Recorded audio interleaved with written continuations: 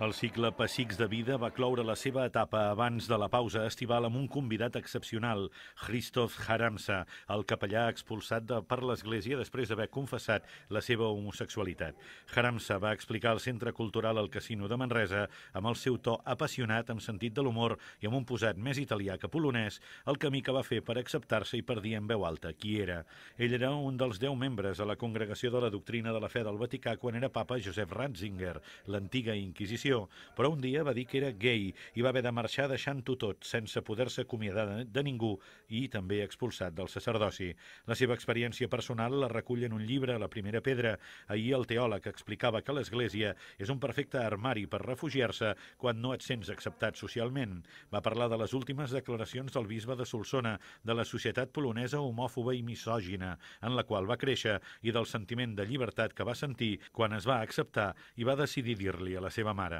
la conversa entre Haramsa i un periodista de Ràdio Manresa tancava el cicle Pessics de Vida fins al mes de setembre. És organitzat per la demarcació Catalunya Central del Col·legi de Periodistes i el Centre Cultural al Casino de Manresa.